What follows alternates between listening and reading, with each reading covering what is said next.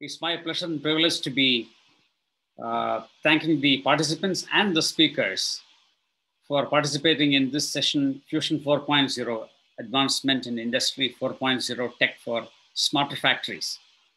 The manufacturing industry is now poised, as I, in my personal view, it's, it's poised for a biggest transformation like never before with advancements in different set of technologies, be it IoT, uh, industrial IoT, AI, VR, robotics, computer vision, deep learning, and whatever.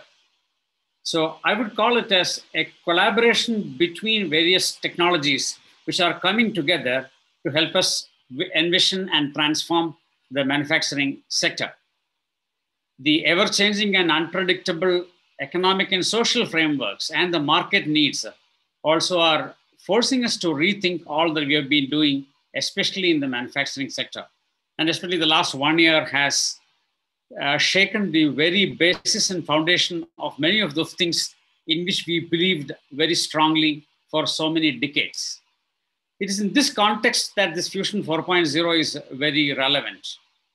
In today's sessions, we have, in today's uh, discussions, we have had two keynote sessions. The first one was from Dr. Demetrio, and the second thing from, uh, second one from Professor Jagannath.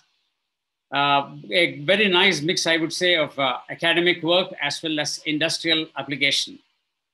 Uh, we also listened uh, to uh, an interesting panel discussion.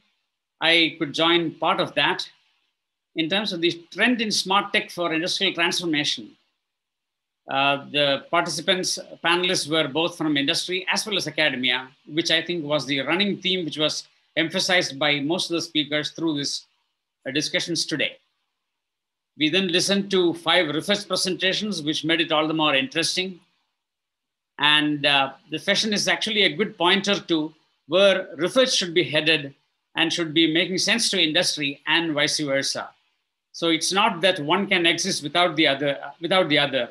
It has to be research helping invention as uh, laying a foundation, as Professor Jagannath said, and vice versa, industry placing demands on research. So I think it's a very uh, synergistic, there is an umbilical relationship there. I particularly like the point that uh, Sandy made, Sandan Sandy made about Invent in India. And I thought it couldn't have been uh, emphasized more we at IIT Gandhinagar have a very interesting program in this area called Invent at IIT, uh, which is going to start in, I think, uh, May this year. It's a, it's a program which runs every year. And this exactly focuses on encouraging invention by even students, looking at a problem, trying to see what we can do, how can we leverage technologies, and not just one technology now, but a platform of technologies, collaboration between technologies to see that problems are addressed. The whole thing emphasizes only one thing. The need for collaboration between industry and academia has to be at the highest level and it cannot be overemphasized. Each one needs the other to be relevant for the longer run.